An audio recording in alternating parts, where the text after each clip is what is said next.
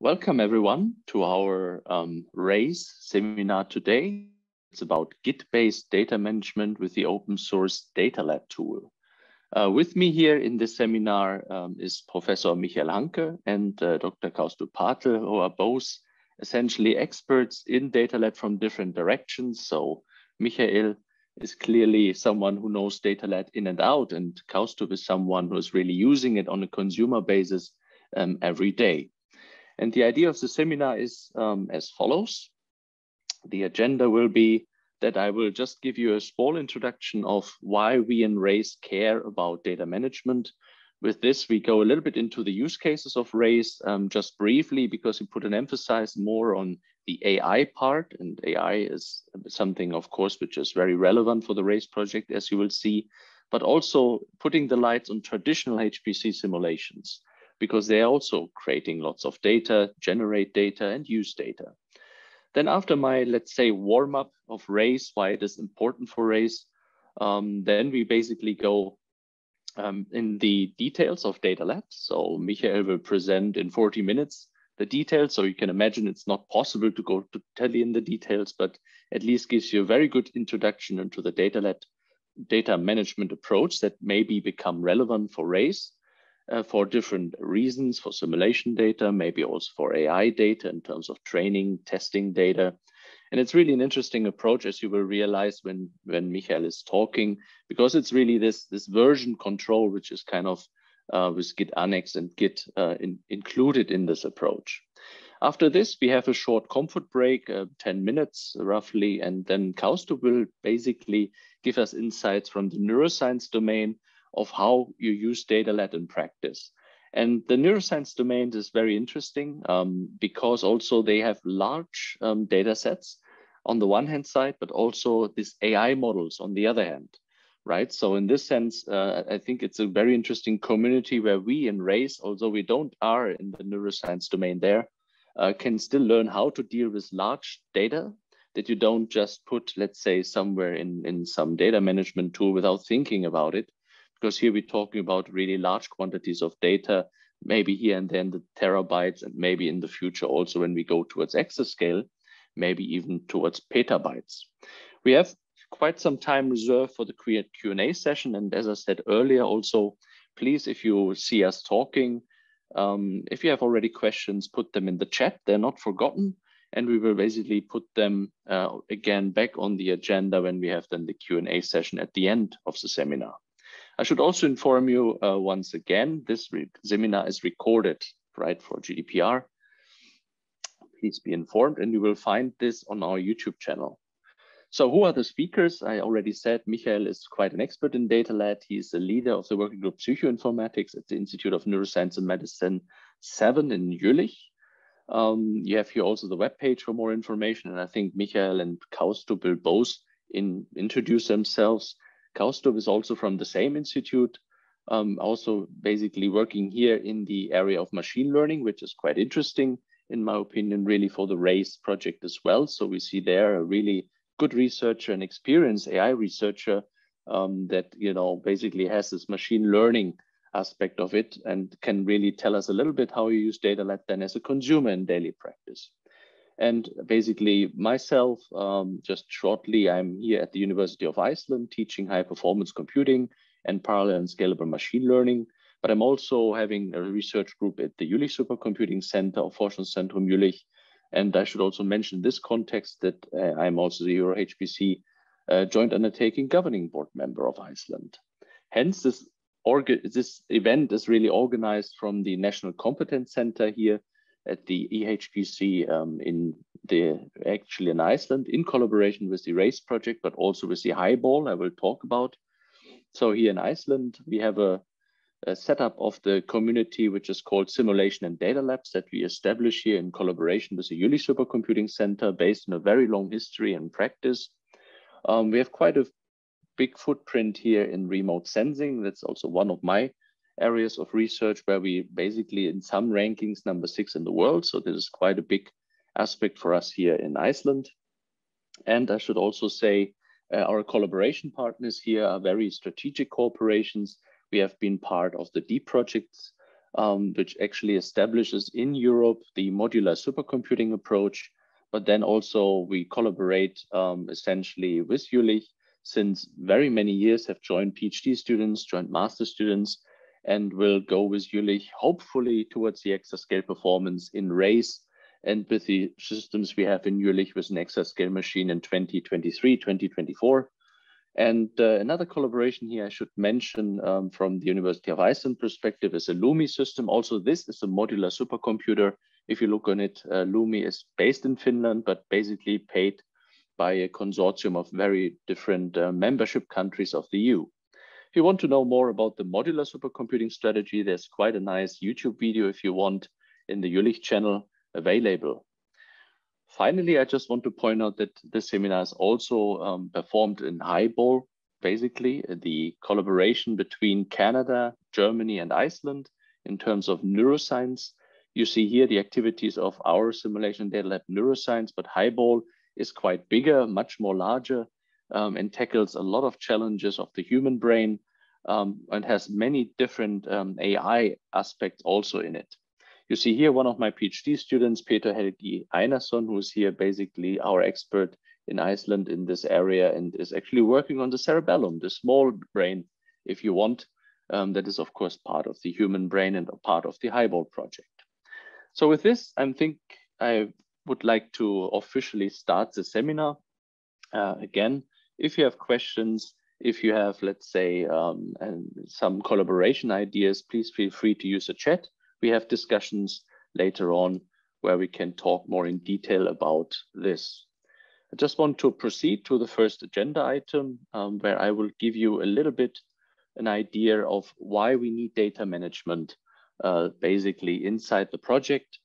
Um, and I start with this with the use cases that we have. Um, if you want to know about the um, COE RAISE project at large, of course, I just give you a very small introduction here now to put the emphasis really on DataLad. But if you want to have more information, we have a nice website. You see it here at uh, www.coe-raise.eu.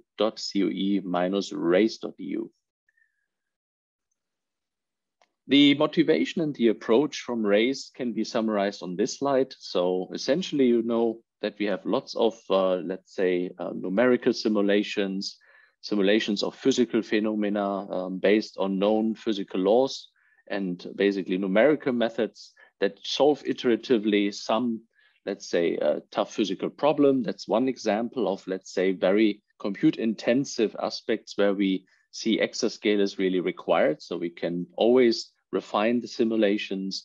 We can always make it more accurate. And all of these simulations, of course, have in common that they generate a lot of data. We call it maybe big data these days or large quantities of data. And the idea of RAISE is to combine now these, let's say, more traditional HPC approaches with new technologies. And this is for once, of course, the AI that we have seen is very prominent in the last 10 years, especially because of deep learning and new approaches coming. And then on the other hand, we have seen by using really cutting edge deep learning in combination with simulations, we really need much more orders of quantities of computing power.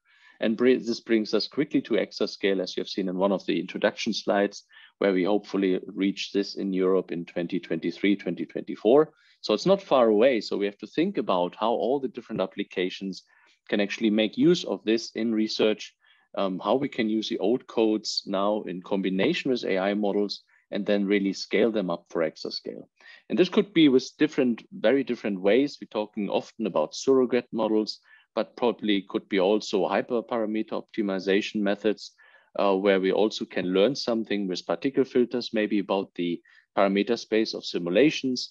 So there are many different ways how AI models can actually be used in context. In RAISE, we would have kind of two kind of use cases. Um, again, more on the web pages. We have compute-driven use cases in different areas here, um, which all share, of course, the, the part that they have somehow some generation of data. And uh, all of them then actually looking now in during the course of the project, how we can also make use from AI at exascale. The same goes for data-driven use cases here. Is the physics not so, let's say, the, the key driver? Also, you see fundamental physics, of course, CERN, for instance, being one of the use cases here. But um, the key idea here is that we have lots of data already as a, as a kind of um, starter. So we would have, um, let's say, 3D printer measurements of how you actually manufacture elements and then have lots of faults in the 3D printing and we analyze that. So this brings you lots of data. Um, sound engineering is about how people would basically hear in virtual environments like the reality. If you now see virtual reality is very getting very much better in, in images and in basically in the visualization that all looks good. The sounds actually uh, not really very realistic. And this gives you an idea of uh, really thinking about that we have to do something to improve the sounds in virtual environments. And this is essentially what this use case is doing. Now, looking on all the um, different uh, use cases we have, because of the time, I cannot go in all the details on it. Just again, on the data side, we would have numerical simulations, uh, CFD simulations. They generate a lot of data. Studying turbulence and these aspects is incredibly compute intensive. You need large systems, and all of these systems generate outputs of the simulations that we will look in. Uh, wind farm layout. Um, if you have one wind wheel, it's very good understood from the physics perspective and from energy generation, if you have a polar wind farm, you have again basically turbulence of one wheel that affects others. So you basically see a kind of complexity in this, and all of this to solve this is really a research question. And in order to tackle this, we have basically this wind farm use cases on board, and also they generate uh, a lot of data. Morris, uh, your your yeah. audio is breaking up. Sorry. Um, ah, okay. Thank you. Ah, now it's now it's good again. Okay, yeah. Not sure. The connection should be good, but who knows? Um, but thank you very much. Um, before I talk with in the void, nobody can hear me. That was good to hear. Thank you. Um, you see also the other ones. Um, again, I cannot go into all the details, but they all share here in one way or another that they generate a lot of data and uh, of course, this now brings us to the question, what we do with all the data. Do we have a central repository at each of the different partner organizations? And then we have to transfer a lot of data again and again. If you want to do AI modeling, uh, what about the sustainability of the project? It's a COE, a Center of Excellence that hopefully will run a long time, uh, not only the couple of years in the first funding period. So how we ensure that the data is basically there um, later on. Of course, this is more the generation perspective. I come to the AI perspective more towards the end of the call. Let us now look a little bit what the partners are. You see, we have quite a combination of Europe from one end to the other. Cyprus is here, one end, uh, while you see also here on the other end is Iceland. And we have a couple of partners also from industry, which is quite interesting with Safran uh, developing new forms of helicopters um, this is quite interesting together with Surfax. So you see quite an interesting set of people on board. And the objectives of RAISE um, are actually quite ambitious.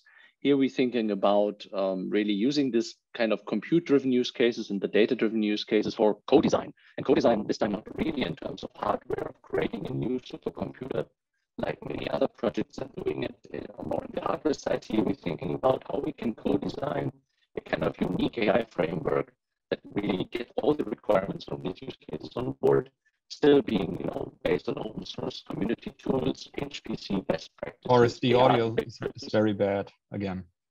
Okay. Okay, now think let's think about um, I was stopping at the use cases. So, and the idea was really to create this AI library. However, that will be framed is of course a good question. So we have a co-design approach in the project. But before we talk a little bit about this, um, the question is also what do you mean with an kind of AI and HPC cross method. And here's an example um, that you maybe see where you basically combine both of these worlds. Um, one example I did in the past think about weather predictions, that's something what everybody can understand. Maybe very quickly you have, let's say, maybe O from 1,000 runs. You want to predict the future. What is a meteorological situation uh, over a specific region? And, and there basically you have a typical simulation based on, you know, known physical laws. But what you don't know is the parameter set perfectly which of those ensembles are the best ones to predict. And what we then did as the kind of intertwined AI approach was, for instance, then using a particle filter approach to narrow down the parameter space in this coupled application so that we could already see, yeah, and there's some of the ensembles were not useful. So you can stop them while they're already computing because they will not generate very good results. And so you see, you can save computational time with it, which is one of good motivations for it. Also, if you think about then um, how you combine these AI models for maybe in exascale really saving large footprints of computational time. And this is the same in, in the ideas for surrogate models like wind farms. You maybe don't have to simulate all the nine wind, field, wind fields in a wind farm. You maybe think about a deep learning network that can take care of some, and here and there, learn deep learning network can take care of maybe some of the wind wheels. And then you also reduce the computational footprint to make it feasible again to study this better. But these are all different examples and all the use cases have their way how they do it. Now let's come back to the data generation. And I want to show you a little bit what that means uh, from some examples where we do some work in, in my research field, just as an example, because there we have concrete, let's say, data. Here you see we break down the remote sensing problem, which is a satellite imaging, um, basically data set, and then you have to classify the land cover in, let's say, 48 classes. And this is a typical machine learning approach you would have then um, this data set available, you share with a research group, and you use a supercomputer like you see here with JUWELS. Uh, the older generations of uh, GPUs we had already now, the generation of A100s we used, but with V100s we use 96 GPUs in parallel. So to really fill these systems with lots of data and the deep learning networks that we use there for classifying um, also, of course, needs to be fueled with the data. And the interesting thing is you want to analyze then the results of the data, right? You want to understand, is it a good accuracy? Is it a really good, um, let's say, achievement that you do with your deep learning model? And nobody knows what are really the right parameter of such a model. And I come to this in a moment. Now, when you think now what that means is we, we have to prepare a hardware infrastructure that's pretty clear. And I think this is given with our supercomputer systems, JUWELS Lumin in uh, basically Finland, Iceland, but also the deep modular prototypes. We have Barcelona supercomputing on board, but also some unique hardware in terms of more quantum computers that you maybe use like accelerators today in the future for optimization problems in machine learning. Now, interesting is what we do with the software infrastructure. So there is lots of uh, elements unclear when we move to exascale. How large will be the scalability of deep learning frameworks? Um, how we can actually interconnect. Um, then let's go ahead with this. The idea of the software infrastructure also, of course, includes now um, not only the deep learning networks we talked about, um, also different AI aspects of it, deep speed, Horovod to really scale up. Um, but a key question remains what we do on the data side. So do we have data repositories in the project? Um, how we work with the different, let's say, AI models that will come out again and again. And basically, this brings more and more data sets, especially if you think about um, what we do in terms of AI. There's not always a very clear path that you say, you do this deep learning model, you train on it, you have some model done, and you basically are finished with your job. So we see here on this slide that we have many different angles of how we would use AI in these different use cases. This could be not only scaling up, as I said earlier, with Horovod or DeepSpeed to many different GPUs and uh, then generate different data sets on different scales of GPUs. It could be also that you have new, um, let's say, models to try out and you don't know if they work. We had already some discussions among the use cases where time series data is relevant, but nobody tells you that long short-term memory models now would be the modus operandi, or you basically use maybe gated recurrent units only. So you will experiment with many of these AI models, and we have many of them in parallel then uh, as part of the project. And all of them would maybe have, let's say, uh, the requirement of searching for the right uh, setup of the parameter, something we call hyperparameter optimization. Then when we think about um, the data itself, we maybe don't use just one data set as is. We would have data augmentation approaches. We increase the set of uh, volume in the data. we essentially thinking about um, different ways how to enrich the data so that we carve different features out. And then we want to benchmark HPC machines uh, with this new, let's say, algorithms. That means also there we have a run maybe on a couple of uh, GPUs, then more GPUs, or on CPUs intertwined with a simulation now with AI. And we do this for different scales of CPUs and GPUs together. So you see in benchmarking alone, this will be lots of data again. And then we want to go in the project also to something we call neural architecture search. So finding the parameters of simulations intertwined with the deep learning then in a more semi-automatic way. And this also requires lots of computing, but also will generate lots of different data sets.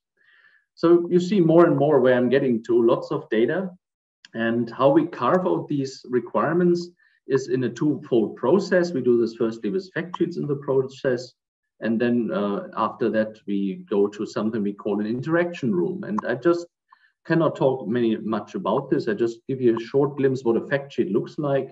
We also publish with them usually to really get clarity a little bit at the beginning. Where are all the different components? And you see here quite well that in some of our neuroscience projects, uh, we already use DataLad, right? So there's some lessons learned where uh, Michael and Kaustubh then will later in this seminar will talk about. And it's really used in practice. Now, when we think about the fact sheets, they're really early versions we have in the projects. As you know, CoE RAISE perhaps is just starting in a way. So we got all these fact sheets now. We got a rough understanding of the work uh, basically that we have in the project. And all of them have really some emphasis on parallel file systems, on really data generation, on the idea of using lots of data for AI and also in the simulation space. And when we then will now come to all these different AI models that you see here, a little bit illustrated from all these different use cases that we have, it's also that we don't have just one AI model that we use. We have different models in parallel. You see here, perhaps autoencoders and actually um, something we call uh, physics-informed deep learning will be used, or neural architecture search in combination with transfer learning. So also the AI models is another dimension really of creating lots of different data sets. What we then do is basically, and we are in the process right now with all of the different use cases to perform so-called interaction rooms. Um, these are basically um, a very nice methodology to really carve the requirements once again out, much more detailed than fact sheets. Um, if you want to know more about this, please go to our YouTube channel of the CoE RAISE project and also maybe consider subscribing to it. So that's an important aspect of it for us as a European Commission project. And please go there if you want to learn more. All the seminar that we had in April about the interaction room is there recorded. Uh, just to give you a glimpse of the interaction room that we do with so-called mural boards, um, you see there we have different canvases where we then, with the use case experts and AI experts and HPC experts, carve out the requirements for data, but also for the AI models. Hence, we have a problem canvas, which often is related to the physics or to the data science uh, problem that we're going to solve. The data canvas shows really the ideas about the data itself, so something like validation sets, training sets, testing sets for AI are relevant. Then the models, what AI models could be interesting, uh, time series models like short, long, short-term memory, or do we use image-based uh, aspects with a ResNet 50, with convolutional neural networks, and so forth. The architecture design canvas here on the bottom also alludes a little bit to our HPC setups. As you know, we want to scale up, and this brings also the constraints. So we need to libraries on these HPC machines to scale. And also here in the architecture canvas is something where, of course, DataLad then now plays a role, how we can organize DataLad to be, let's say, one, one good idea of sharing this between all the different HPC centers, between all the different research groups, and, and how we can achieve this. Because here we think about a very distributed setup in the European project, where AI experts are not on one side, they are across different organizations. Now, finally, uh, let's come a little bit to the idea of machine learning, just to understand that data is, of course, a very centric approach for machine learning. Um, if you want, machine learning also means learning from data. And for us in the exascale domain with CoE RAISE and all these large simulation runs, we talk about learning from big data. And this is something where um, you can see it's it's a field which is basically joined with data mining methods, applied statistics, and machine learning. But all of them have this kind of three considerations um, that you basically have always as a key ingredient for an AI problem in a way. You would always say some pattern exists somewhere and you hope to, to explore this. You have not an exact formula. That's why you use AI. And this is a bit different from the simulation sciences because there are physical formulas that you would go ahead and implement, right? And do numerical weather prediction as an example. You implement and then go forward with the simulation over time and iterate. But that's something in AI you don't really have. So what you do is to learn from the data something what you would might call function approximation, but it's a little bit more elaborate than this. But learning from data is really the key aspect of it. And of course, we have lots of challenges with it. It's often really uh, complex data sets, um, high dimensional data sets, a low amount of data quantities in different classes, and we require really these days, these HPC machines to learning from data efficiently. When you see the overall process of machine learning and for people that want to learn more, of course, we have machine learning courses here at the University of Iceland. Uh, also on YouTube is something uh, on my channel. Just briefly, let me elaborate the process, which is really then generating again and again data. All people know is usually that we basically consume data. We use training examples that have been basically given to us by some target function we don't know, right? Somewhere in the nature, which might be the ideal function. We still assume though it's basically coming out of the same probability distribution. So if you have, let's say, Netflix movies, you'd not necessarily recommend the ones that you really see in the cinema. Um, this is a different probability distribution where the data comes from. But in the end, you would say the training examples are our core business in machine learning. We're using them.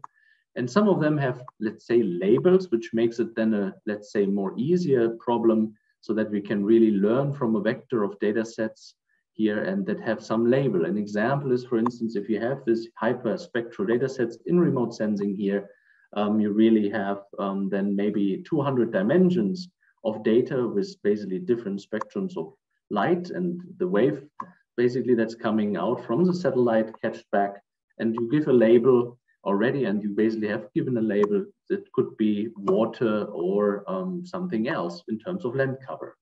So this, this labeled data gives us then the opportunity to use machine learning examples. And this is just a supervised learning setup. Of course, an unsupervised learning setup looks a little bit different, but the same idea applies. Now you do the learning algorithm um, and there's always a learning algorithm and hypothesis set. You would say the hypothesis set is something like a support vector machine, but it needs to be trained, it needs to be looked at. And this is what you do with a learning algorithm like quadratic programming. Or you have neural networks and you have backpropagation, which is a learning algorithm behind it. So they're different, they always come together, but you never know which one to pick, right? It's just never, nobody really tells you. So you have a large idea of hypothesis set and all of them generating data, using them, trying them out, um, thinking about accuracy and saying, okay, I measure the accuracy um, in base of error measures, and then I can maybe go to the final hypothesis and say that's the best model. But to go towards this is a very long way. You don't go and just throw a machine learning problem on it. And I think the other talks also will talk much more about it in detail just to come and carve out now again for the data generation, what it means for CoE RAISE is it's, it's pretty clear that we have sensors. Uh, many of you know CERN, for instance, right? It generates with a Large Hadron Collider uh, many different data sets which I have to be preserved and that we also want to analyze in the project. Here you see again the example of remote sensing with satellites. Um, they generate with more higher resolutions daily tons of data we want to analyze. So that's on the data generation side. And the same was valid for the uh, basically physics-based simulation we have there in the beginning. But now the key challenge for CoE RAISE why also versioning control, and all of this might be interesting in data DataLad, is now then the idea of all these parameters that you see exactly here. This is actually a, a hyperparameter set of just one network, and this is loaded you never know if that's really the best setup. You maybe want to change several aspects. You have here optimizer called SGD. Maybe you want another optimizer like Adam. You have different layers of neurons here in this convolutional neural network examples. And you can play with different depth of the layers, uh, ResNet 50, or you go with the ResNet 152, more layers, more data to train, and so forth. Largely the data that is then coming out is what you see between those layers. So all the weights that have been trained, the signals that have been going through, we're strengthening the weights with different learning algorithms, as I was alluding to here in this example, would be backpropagation, uh, basically adopted to the deep learning domain. But still, the point is really, as an AI expert, you play around with these. And as I said, with neural architecture search and auto machine learning, you try to do this in a semi-automated fashion, but still you cannot really automate the process fully. You still have to go back, you have to check the accuracy, see what can you change in the architecture of the network, in the learning algorithm, uh, with different optimizers, maybe different loss functions that are relevant, how long you train is a very, very, let's say, considerable aspect also for statistic learning theory. You can learn too long to overfit, for example. What are the batch sizes? This is really critical because we have HPC machines. We have to get the batches on different nodes. So they, and then basically using maybe uh, something like Horovod to exchange it again. So long story short, it's a long process, machine learning, and will generate a lot of data and arrays um, that we already have lots of experience with. But how to handle this is now the question in the EU project. And that's why we need really something like DataLad. In the light of the time and the technical difficulties we had, um, and I hope it's not like this for Michael, I just would like to continue. I see there are already questions in the chat, but please feel free to continue. We will come back to the questions then uh, essentially after we have um, the short break and after Kaustubh was talking. So with this, thank you very much. And Michael, please feel free to start sharing. Thank you. Uh, I will try and I hope it works well. What about this? And I hope you can also hear me well. Yeah, we hear awesome. you. It looks good. Great. So um, thanks for the introduction and the the orientation. Uh, what CoE RAISE is is doing, especially uh, for me, that was helpful. Uh, and I will try to to connect to some of the aspects um, that you mentioned in in my talk. So um, DataLad can be many things. Um, I was I was asked to present uh, DataLad specifically, uh, you know, in the in the light or from the from the point of view of uh, it being a Git-based um, research data management tool. So this is what I will do. My talk will be uh, split in uh, essentially three parts. In the beginning, I will I will explain on a on a very high level what what the tool is is trying to accomplish. Uh, in the in the middle part, I will go a little bit into the details of um, how it's actually working inside and, and what its uh, principles are. And I will conclude the talk with, with, a, um, with a sketch of a, a, concrete example of a high uh, throughput computing analysis uh, that we conducted with it, and then leave you with pointers where you can find out more about everything that I will not be talking about. Um, just quickly starting off with uh, acknowledgements. So this uh, uh, DataLad, the tool itself, is a collaborative um, uh, development project, um, uh, in particular uh, in co collaboration with the group of Yaroslav Halchenko at Dartmouth College, um, and um, has accumulated more than 30 contributors um, inside and outside funded projects. There is a dedicated documentation project that, that comes with it because it's a complex tool that is that is necessary for it being uh, practically usable. Uh, that is led by uh, Dina Wagner and and in itself has almost um, 30 uh, contributors. And the use case that I'll present today uh, is done together with uh, Małgorzata Wierzba, um, Felix Hoffstaedter, and and Alex Waite. So um, to start, what is DataLad? And on a, on a very high level, um, the, the first thing that DataLad is trying to accomplish is the exhaustive tracking of research components. If you want to look at it from the scientific angle, you can also look at it uh, from the angle of you know data and files. Then it just wants to track everything that uh, is digital and and is used in the research process at any at any stage. And it does that um, aiming to deliver well-structured uh, data sets, preferably using some community standards, which standards these are uh, is of course depending on the on the community, and also uh, portable computational environments. And then being able to track the evolution of each of those components inside uh, those data sets. And um, depending on which field you are in, uh, you, uh, you, you will either have heard about the reproducibility crisis or you are part of the reproducibility crisis. And, and this exhaustive tracking of the state of everything digital digital that is uh, involved in the research process is an absolute uh, precondition for, for reproducibility because we first need to know what it is that we were processing, inputs and outputs uh, identity. So this, the second thing that DataLad um, uh, aims to achieve is the capture of computational problems. So essentially everything that is the output of a computation we need to capture enough information that in retrospect, we can go back and ask the question, where did this file come from, right? And ideally, we, we, we capture enough provenance information in a good enough format that we can actually rerun that kind of uh, computation in order to give us the file back in case uh, it is a deterministic process, the exact file, or uh, something very close to it if, uh, if, if it's not a deterministic um, computation. So and for that one, of course, we, we're putting together this idea that we have full control or we track exhaustively everything that's involved in computation. And in addition, put uh, computational provenance capture on top of that.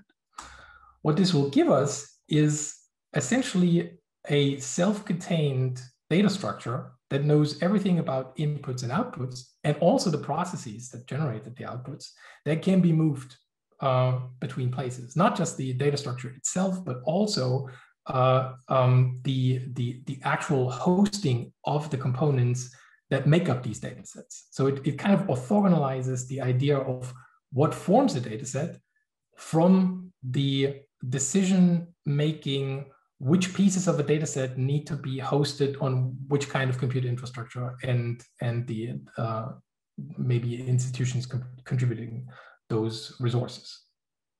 Now, if we have all the pieces, if we have exhaustive tracking, provenance capture, and uh, portability, we can actually uh, practically achieve reproducibility. So we can we can move that uh, data structure to to another place of you know uh, it's some sort of a validation environment, a collaborator, or a consumer of the information that was published in a in a in a manuscript in a journal somewhere, and aim for and hopefully achieve computational reproducibility. So just regenerating the results uh, that make up figure one in a, in a publication in order to provide uh, a, a, most convenient or at least more convenient starting point for incremental uh, research and contributions than uh, there usually is today.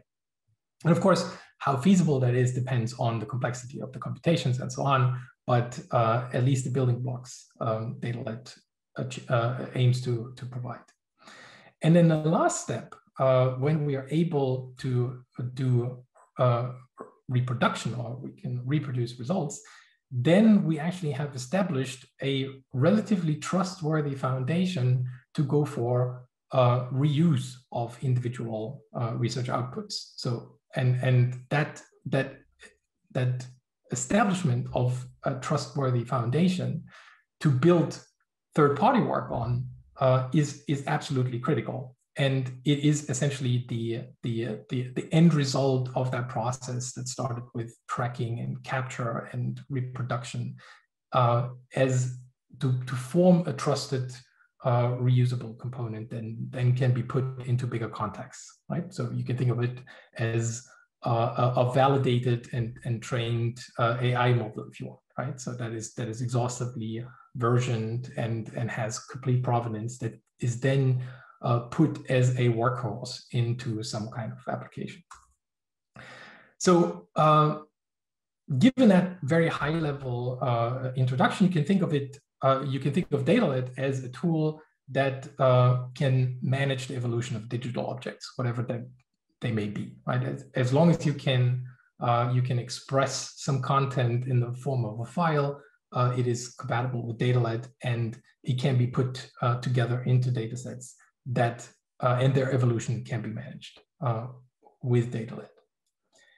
So um, maybe that's uh, that's that's sufficient for a, a, a, general introduction. I want to uh, summarize some of the advantages. I, I briefly mentioned uh, most of them already, but just to you know draw in uh, an interim conclusion. So what DataLad provides is some kind of an overlay data structure. It's it's essentially um, some collection of actionable metadata that that combines individual digital items into a data set for a specific purpose. And it focuses on the on the on, on what it is that forms the data set and not necessarily on where that is. It can provide uh, redundant uh, tracking of, uh, of computational environments and storage resources. Uh, and importantly, they can change over time. So the, the notion of a data set of a specific kind of purpose uh, can evolve over time with changes in, in, uh, in, in, technical systems that uh, it requires for its existence. And these self-contained units, they're, they're valid and, and complete without any external services. So they, they can contain actually all the data, but they don't have to and uh, there's there's critically no de dependency on any sort of uh, running uh, infrastructure like a, a, database server that needs to exist at a particular address or something like this. So it's a complete uh, uh, decentralized system. Uh, importantly, it can it can process a plurality of, of, of metadata. And in, in this talk, I'll specifically focus on, on provenance metadata. I'll come to a concrete example later on. Uh, the key fact is that DataLad implements uh, the, the philosophy of uh, it not being the best idea to make you know, long-lasting decisions on the optimal representation of metadata for the purpose of transport and query, but uh, to implement a system that can dynamically regenerate metadata according to whatever is today's most appropriate form to report metadata for a specific purpose. Uh, so it has a concept of metadata extractors that can be uh, programmatically rerun on the same pristine uh, data that may generate much different metadata in 20 years than they, they, they would do now and participate in the evolution of these uh, standards themselves. And altogether, uh, uh, we believe that it's a viable system for long-term curation and, and the, the, the, execution of data stewardship for uh, data sets uh, that require it. So um, this idea of having a standard uh, overlay data structure that kind of serves as a compatibility layer between other technical systems pretty much gives any DataLad user automatic compatibility with a bunch of uh, other systems. So you can uh, you can uh, talk to AWS S3 as, as storage without, as a consumer, knowing that this is actually uh, uh, happening or implementing specific support for it. Uh, it supports all kinds of domain-specific services like, like OpenNeuro in the, in the neurosciences as, as a data platform, but also other computational systems. And you could go right now to datasets.datalad.org and, and get an example of a large collection of thousands of datasets that are hosted across a range of different uh, uh, data portals with different storage mechanisms and authentication schemes. And the, the data access to individual files in all these datasets would look exactly uh, um, for exactly the same for, for a range of, of datasets. So it abstracts away the uh, peculiarities of the technical system systems uh, quite successfully. Um, and if you actually want to see how uh, you can uh, build an entire uh, academic paper with it, uh, I'm linking here. I will not show it uh, now for time reasons.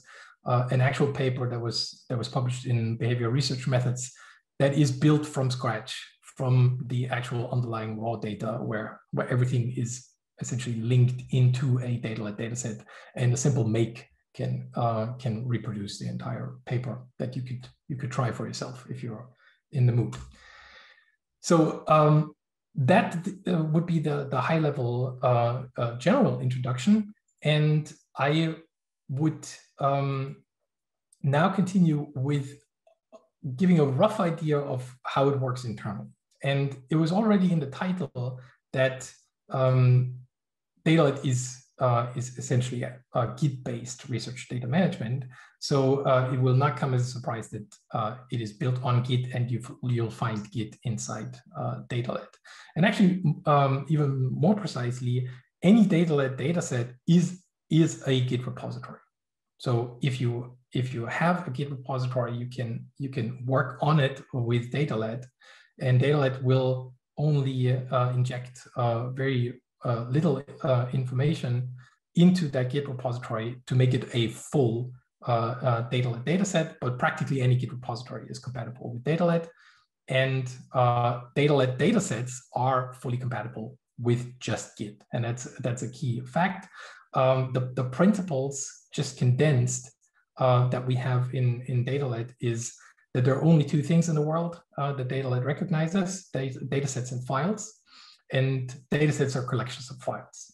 And it is as domain agnostic as Git in that sense. So Git self-describes as the stupid content tracker, and uh, and and DataLad aims to be you know as stupid in in that sense. So it makes no requirements of uh, what kind of information you're putting into a dataset, as long as it can be a file.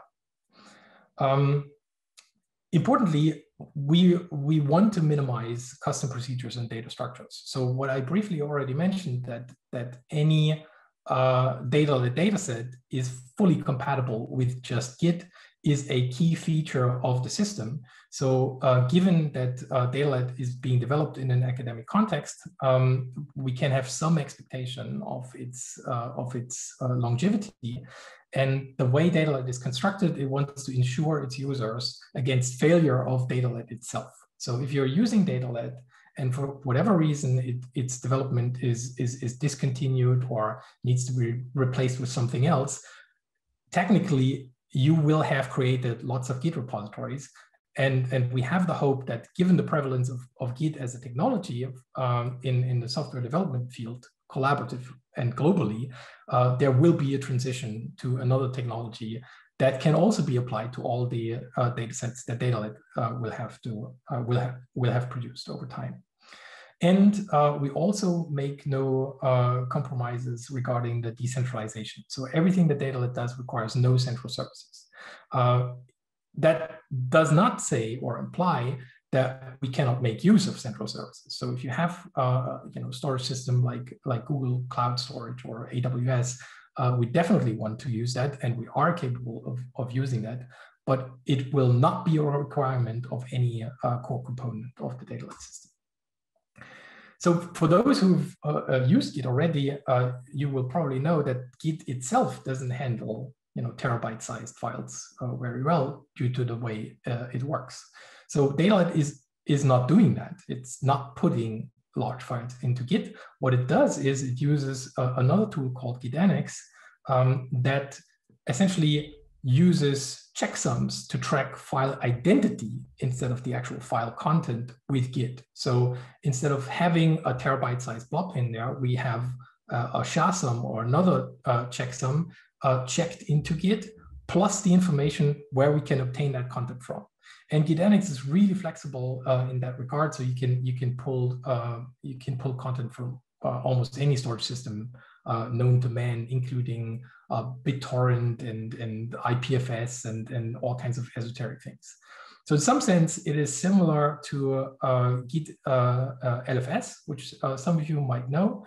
The, the main difference is that git-annex is as has, has the same decentralization philosophy that Git has and that DataLad has, uh, and it requires, in contrast to LFS, uh, no central uh, service and is really flexible in terms of uh, granularity, uh, granularity of uh, you know obtaining individual files from from large data sets. Um, now, if it's you know if these two technical components deliver most of the features, then what is DataLad for? you might ask, which would be a valid question.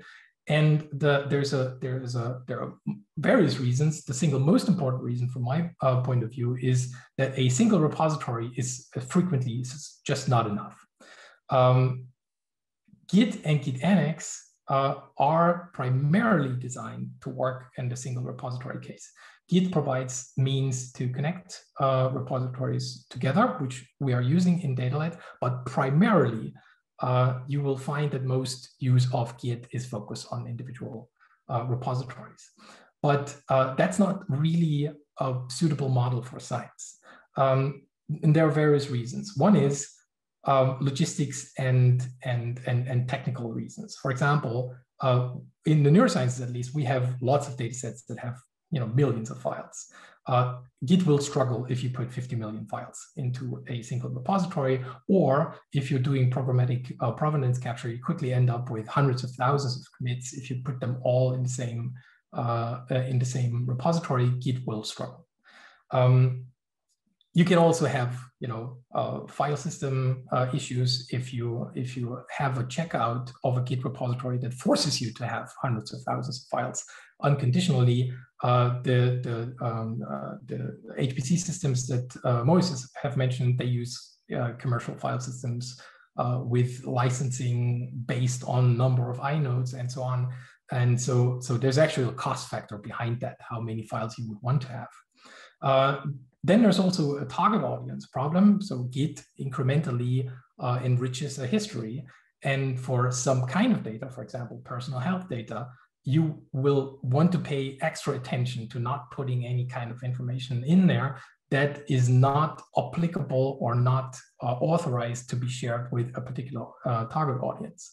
So for some data sets, uh, it will be unavoidable that these will be personal data and they cannot be shared. If everything goes into a single repository, that means nothing can be shared. That is nothing, that's not a model that is appropriate for uh, scientific publication. And then of, there's also uh, an, an uh, evolutionary uh, aspect of it.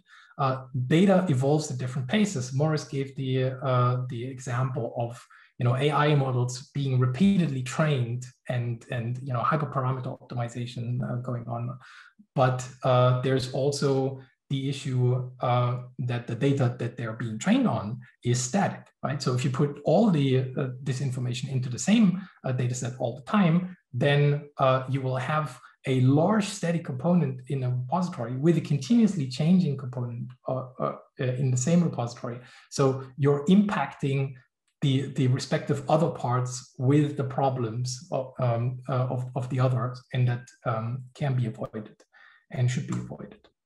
So you can think of data also uh, as some sort of a modular data management tool that, that you, where you can isolate the pieces, the modules of data that, that uh, belong together, and then you can, you can plug them uh, um, into each other and, and track their uh, dependencies. And that's a, that's a much more appropriate workflow for science because in general, we're aggregating across time and, uh, and contributors you know, combining prior works into something that, that hasn't been done before. So uh, for those interested, I'm, I'm linking here a talk where you can see an actual uh, comparison of uh, a plain Git and Git Annex based workflow with how it would feel or actually look like if you do that with, with DataLad, but it takes too long. So I'm, I'm just uh, uh, showing it here. You can find it on YouTube. So uh, to summarize this more technical uh, introduction to DataLad is a modular data dependency management tool. So you can you can specify um, you can you can you can modularize the projects from the data perspective and use and reuse the, the, the components that were produced maybe by uh, unique sets of collaborators uh, in increasingly larger scale all the way up to uh, scientific uh, publications. And uh, it's a system that that scales. So here I uh, i have a screenshot of a, um, a, GitHub project that is actually a data data set. You could you could go uh, there uh, today. It tracks. Uh, it's the it's the Human Connectome project uh, data set. It's one of the one of the most frequently reused resources in in neuroimaging, and it comprises 15 million files and 80 terabytes uh, it's distributed across uh, uh, four and a half thousand DataLad datasets. But if you if you DataLad clone it from from GitHub directly, and none of the files are actually on GitHub, it will feel like a single Git uh, uh, monorepository because DataLad makes these connections between uh, individual subdata sets uh, almost seamless. So the last bit uh, uh, of technical importance that I want to uh, talk about before I quickly give an example of a use case is that uh, DataLad adds metadata to Git that Git itself is not adding. And uh, most importantly, that is process information. So you can capture arbitrary uh, um, data transformations as that you can run in the command line in, a, in a a fairly simplistic way, which I'll, I'll, I'll show you in a second, that adds the critical information how this did this file came to be uh, to Git without introducing uh, you know any any technical additional technical system that does that. Uh, so the simple way uh, that we're doing it, we're using Git's commit message uh, in order to, to store that information. Can also we, we're also capable of doing it in a different way, but but in the simplest way, we're using Git commit messages. We're basically adding a structured record to a, a commit message that puts in enough information to recompute or re-execute uh, an operation that was done. And you'll, you'll see it fits in a screenshot of a single page, so it's really simplistic, but it actually scales uh, scales, scales quite far. And we're not changing the, the, the concept of a commit message, right? The commit message in a Git repository is meant to say why that change was done. We're using it, how exactly that change was done to, to record that information. So you can, you can uh, make a, a, slight change um, by introducing the concept of, of, of containerized environments. So uh, without changing the concept of putting information on how to store uh, process information in git commit message, there's a, there's a DataLad extension called containers that you can simply use to wrap any computation, uh, any command line into a containerized execution in a container that is also tracked inside a data data set because you know container image is just a file. As long as it's a file it's compatible so you will have the inputs tracked with DataLad the computational environment tracked with DataLad and the provenance information of the generated outputs from that containerized uh, uh, pipeline also tracked uh, with DataLad so with these uh, simple pieces I can present you uh, one use case uh, that we that we recently uh, assembled or processed um, that that hopefully gives you a sense of the scalability of the system. So there's a there's a data set uh, called the UK Biobank um, that is the, the largest health data set uh, that exists at, on, the, on the planet at the moment. Um, the imaging portion of it, so brain imaging, uh, uh not brain imaging, but medical imaging portion, so uh, uh, uh MRI images and so on, is uh, at the moment something like 80 terabytes and 43 million files. So it's a sizable data set. and it contains 42,000, the health data records of 42,000 participants. It is under a strict data usage agreement. So there, there are many things that you cannot do with this data set. And it requires a custom binary downloader to actually obtain you know content of that data set and and most are shipped to you as unversioned zip, zip files. So you, you basically get what the uk biobank has as a zip download at the time where you ask it right? And of course that is that is not very comprehensive in in terms of creating such a you know definitive record of of inputs uh, that yield reproducible uh, outputs eventually so we had a bunch of challenges uh, we wanted to process this data in a way that the results are computational reproducible without the original computer infrastructure, because that's usually the reader of an academic manuscript does not have access to the computers uh, that you use to, to compute the results on.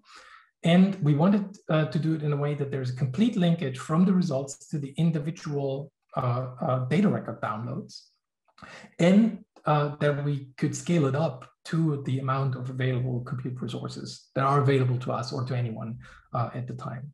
So we more or less arbitrarily uh, picked a, a complicated uh, data processing um, pipeline that was implemented in MATLAB that has all kinds of issues. There was essentially a compiled MATLAB blob for us to uh, not you know have to deal with licensing servers and so on. Uh, roughly uh, there was a, a, a, one hour processing time per image. There are 41,000 uh, images uh, to process. And um, all massively, not massively, but embarrassingly parallel. So no interdependencies between the jobs. just one hour per image. They could all run in parallel if possible.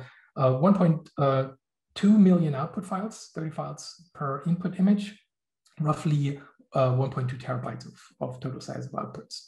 The total size of outputs, not really an issue, uh, but 1.2 million files uh, already might be on, on some systems or for, for some uh, resource allocations, I would say, not the systems themselves.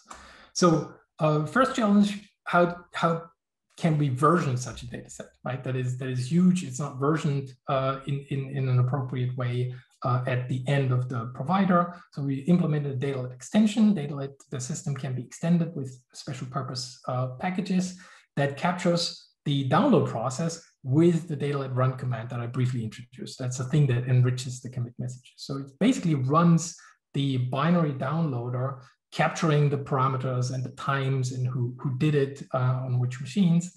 And it then indexes the content of all the zip files. So we, we, we not only track all the archives and their identity, uh, where we can then, you know, where we then have all the information to uh, re-download them, um, but we also know what they contain and their identity. And DataLad makes it possible to specifically request a file that was only ever available inside a zip file. And it will know which archive to obtain from where, and then unpack it and put that individual file uh, in, in the place where it needs to be. And it also does programmatic restructuring of that data set to a uh, community standard that was formed basically after uh, the UK Biobank decided to adopt uh, their dataset layout and is more compatible with the tools uh, that are used um, nowadays. So this, this, this package yields one DataLad dataset per participant. So we're talking about 41,000 uh, individual Git repositories, and they're all bound together by a single DataLad super dataset, which is just another Git repository that has 41,000 uh, sub datasets, or in Git's terms, 41,000 submodules. And DataLad does it in a way that it's actually not uh, creeping slow. Um, so I already mentioned that each file can be, uh, each file of the 43 million files in that dataset can be tracked to this specific download, including the information uh, who downloaded it, um, where and when. And uh, when we repeatedly update this data set, we can actually build up a version history that's not even available at the uh, at the data provider's end. So we can we can tell with confidence which files changed between releases of a data set for which participants. And we can use that information actually to trigger recomputations. So when we know data has been fixed for a particular set of subjects, uh, participants, we can actually stage them for recomputation automatically without somebody going through that uh, by hand, which is impossible at that size, pretty much. So the second uh, issue was staging that data on, on the HPCs. So uh, all the advantages that I mentioned before, they also introduce uh, technical overhead, right? So if we're processing 41,000 uh, images, that's actually not much, right? We could just put them in a directory uh, on a GPFS uh, uh, system, and that would be it. But the versioning overhead, the Git convenience that is added to it, adds a large number uh, of files to it, which brings us in the range of several million files um, suddenly, uh, hosting the entire data set. So uh, to that comes the number of, of, of, of, output files that we want to generate. And um, so we needed some sort of a, a, system that that can that allows us to host all that. And we developed a, a, a again very simplistic, you know, plain file system data store that allows us to represent a data data set with 20 inodes, regardless of the size of that dataset. So it, the dataset itself can contain millions of files uh, and, and, and store terabytes of data. It will be 20 inodes heavy on an HPC system. And I'll just give you a sense how that looks. Uh, this is basically how it looks on the file system. Uh, it's a it's a fully self-contained uh, uh, uh, uh directory. It can be rsynced between machines. It's fairly convenient. A tool that you know most people use. It's it's efficient. It's supported, and I'll just give you a sense of how that thing is assembled. So it basically starts with a, a tree that is made of checksums. In this case, this is a broken up UUID. Every data data set has a unique identifier, UUID, globally unique. Um, and so when we put you know, data sets in there, they, they, they essentially get a unique place in that data store automatically. The second part is just a bare Git repository. So that is how it would look like on any uh, Git hosting uh, services, meaning also Git can be pointed to that location and you would have the, the, the functionality that you would expect. So there's nothing uh, custom in there. Then there is the git-annex object tree. This is where the actual file content is hosted if uh, git-annex places it in there. You can see it's again a nested tree uh, build-up of checksums of the dataset uh, content. And we can replace or amend that with a compressed or just containerized version of that object tree in a 7-zip container. A 7-zip container gives, gives us a nice uh, random access read performance that is basically flat, so the container is indexed. So we can put a million git-annex objects or file content blobs into a single file, and that together gives us 20 inodes for a functional uh, DataLad dataset. And that we used to, to stage the, the dataset with all 41,000 participants. So the entire uh, collection of data that we need, all 80 terabytes, put into just under uh, a million inodes, fully uh, accessible. And the last challenge we had is actually conduct a high throughput uh, compute, computation with these tools in order to yield the results that are completely tracked and, and reproducible. And uh, that is um, that has some complications again uh, uh, rooted in in the way Git works. So Git is a collaborative tool uh, where, where you normally work on software, right? And then sometimes you have two, soft, uh, two software developers committing things uh, and pushing them back to a central repository. At the same time, in our case, it would be thousands of compute jobs, you know, finishing every second um, uh, in, in, in, during peak uh, times in, in that computation. So there's lots of synchronization effort and you cannot simply put a lock on the entire repository because it will be a major bottleneck and you will not be able to scale with your uh, compute resources. So we developed a high throughput workflow with minimal, minimal uh, locking overhead and full compatibility with that system that I explained up to now, and that can be adapted to different batch handlers. So um, I think I'm already quite late, so I'll not uh, go into the details of that workflow, but just quickly, there was a there was a place, I hope you can see my mouse pointer. Uh, there was a there was a place where the data set um, was assembled, then put into one of these data stores uh, that I mentioned.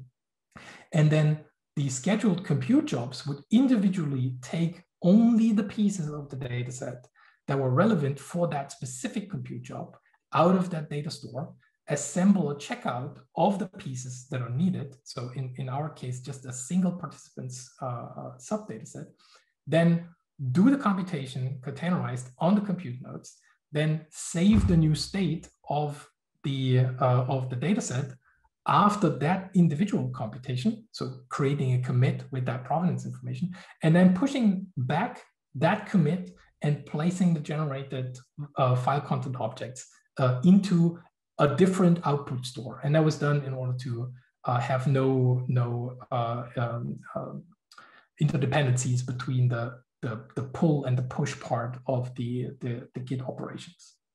And then after the computations were finished, there was a, a large, uh, for, for those who are Git experts, uh, Git can do something that's called octopus merges. Uh, usually that's, uh, that's used to merge uh, 10 non-conflicting branches together at the same time. We used it to merge uh, 41,000 branches together at the same time, which is you know, funny for those who have, who have used Git. It's, it's uh, probably the largest merge in, in Git history. Um, and the outcome of that was a single data set that captured all the results and each and every single result was uh, uh, is completely um, recomputable. And it turns out that we were able to uh, generate bit identical results for, uh, for over 50% of the cases which is, is quite unique for neuroimaging uh, data pipeline because they're all not natively deterministic uh, uh, computations. But in this case, um, we, we, um, we achieved this quite remarkable result. So what you can see here is, is a, a, a visual history of that output data set. So people uh, assembled the analysis and that was scheduled on the HPC system. So every dot in here is a file that's being generated and you can see the timestamp at the top. So the entire analysis fin uh, finished in, in, in 12 hours and every single bit is recorded in Git history. Now, the tool we used here for visualization is a tool called Gource, which uh, is used to visualize development history. But again, because a data dataset is just a Git repository, we can just use it for data datasets to visualize uh, um, the, the outcomes of, of, workflows with no additional effort. So uh, I want to conclude, conclude here with a pointer to uh, the DataLad handbook. It's a, it's a um, fairly comprehensive um, um, uh, document that gives you insights on what, what DataLad can do. Uh, in particular, and I think that connects well to what uh, Morris has said, uh, it, it uh, has use cases and demonstrations how you can use DataLad for particular contexts. So here is, for example, a demo how you can use DataLad for reproducible machine learning analysis that, that captures well this aspect of you know repeated uh, analysis for hyperparameter optimization and so on. Uh, for those who use uh, different Git-based tools that, that do specifically that, that are not as generic as, as DataLad, uh, there's, for example, DVC, uh, there's a dedicated comparison between how a DVC workflow would look like if executed with DataLad. And uh, if you are, uh, you know, interested in, in getting a sense of that in the coffee break, there's also a uh, YouTube uh, recording of a tutorial that shows you DataLad specifically for machine learning uh, applications. It's all linked in, in, the, in, the, in the handbook. Okay, so and I'll thank you for your attention. And again, for the invitation, I'll leave the slide up with, with some links for those who are interested to learn more. Thanks. Yeah, thank you very much, Michael. I hope everybody can hear me now. Yes. Yes, excellent. Okay, yeah, once again, Michael, excellent talk. Of course, in the light of time, we could not have all the details, uh, but I think it's an interesting tool. Also, thanks to Adina already um, actually answering some questions. Um, that's very good. Uh, so I thought there's really a, a, community behind DataLad that you can already experience here in the seminar. Yeah. Thank, thank you very much. Uh, thanks for attending and thanks, Michel, for the nice uh, introduction to DataLad. So my perspective here is as a DataLad user. Um, my background is in uh, engineering and more recently into application of machine learning to neuroscience problems. And we will get into a little bit of details um, very soon.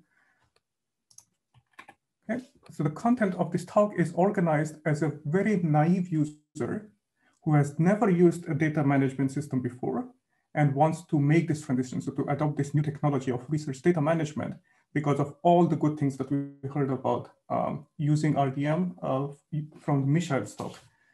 I'm also very basic Git user, so I do not know much about Git. I can make a commit, I can pull a repository, I can push some changes, but that's more or less it.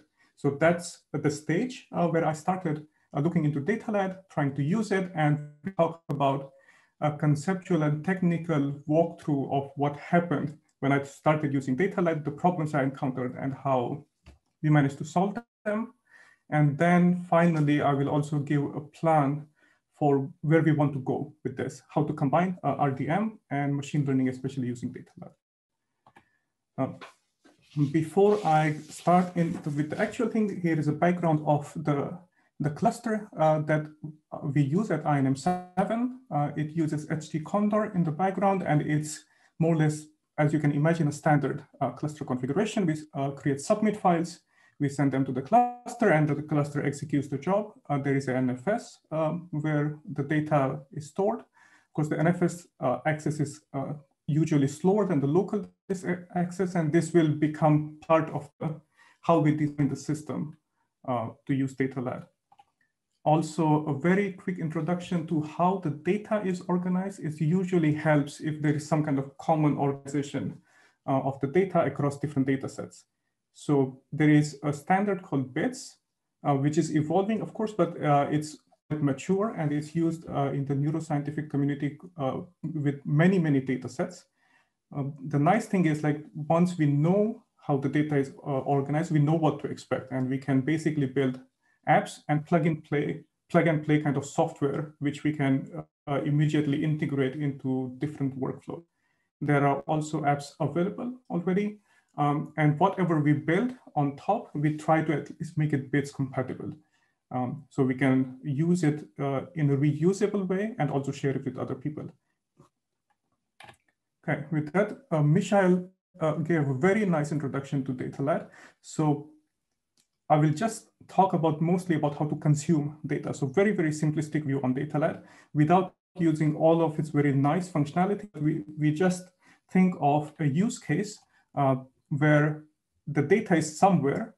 We know the data set uh, repository link and using that, we just want to get the data and use it in, in our workflow. So that's the very, very simple case we are going to look at. And it already comes with some challenges for a naive user like me, right? So the, the aim here is to just to show that, yes, there might be some challenges, but they are not very difficult. So to make some kind of first steps. It, the DataLad offers a very nice command line interface and DataLad clone, as you can imagine, is very similar to git clone, where you get the repository and put it in a, in a disk right? And DataLad get is used on a file or a data set where you can actually pull the content of the file. So with this basic information, that all we needed for the first stage. Uh, and this is the conceptual idea. So when I started thinking about DataLad, looked into documentation a little bit, and then say, okay, let's start using it because of all its good things. And um, I will also give some more detailed explanation of, of like why uh, it's a must to use in many, especially new big scale uh, neuroscience problems. So the, on the left hand side, what you see is, is basically a consumer view. We use DataLad just to stage the data, just to get the files. Hmm? So we just use it as some kind of a system which knows where the files are, which we then copy them locally. We run our analysis. We have our code, which works already. And this is already um, a quite good step and good test case uh, that I started with. And slowly we are moving towards what we will, I would call a complete reproducer workflow, where everything is tracked from the initial, the data originates, uh, where it originates until the analysis run, the output, and everything is tracked. So that's the goal. But I, of course, it here as consumer. Uh, why? uh, we want to use this because DataLad gives a unified interface to data. So the data can live on our local cluster, uh, on AWS services, or UK Biobank dataset that has been created, or there are even services uh, like OpenNeuro that already give uh, DataLad uh, specific DataLad uh, compatible datasets we, we can directly use, so open source datasets.